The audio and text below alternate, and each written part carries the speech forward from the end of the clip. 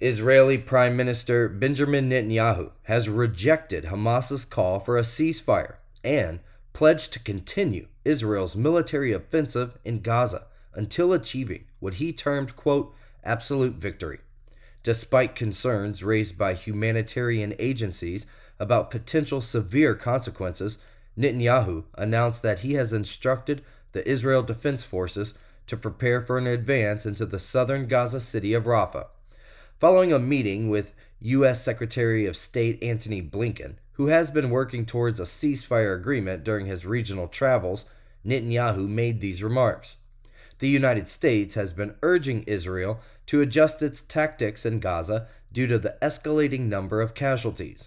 Officials in the Hamas controlled enclave claimed the death toll is nearing 28,000, with a significant number being women and children, CBS News reported. It's important to note that Hamas officials do not differentiate between combatants and civilians in their reported statistics.